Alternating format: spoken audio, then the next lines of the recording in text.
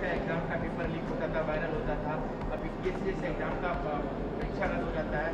देश के कोने कोने से बच्चे आते हैं किस तरीके नहीं बहुत एक्शन हो रहा है। वो अचानक जो हुआ है कल तो हम थे अपना समय दे दिया था बहुत लोगों को अपने पार्टी ऑफ़िस में तो हम वहाँ बैठ के लोगों से मिल रहे थे वहीं पर मालूम हुआ हमको। जानकारी मिली तो हम बाहर निकल के हुए तुरंत हम पूछे।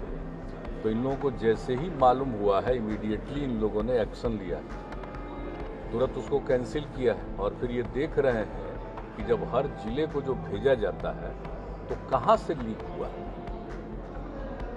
किस तरह से लीक हुआ? कोई कैसे लीक किया? क्योंकि सबको कागज़ भेजा जाता है।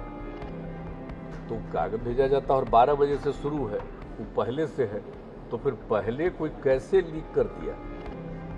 अब आ गया था, मान लीजिए कि वीडियो में कैसे आ गया तो इसके बारे में तो इसको देखते हुए ही तत्काल तो कैंसिल कर दिए अभी, और जाँच हो रही है। और जाँच भी, हम तो जैसे ही आए हैं वैसे ही हम कल शाम में ही हम सब लोगों से बातचीत किए हैं।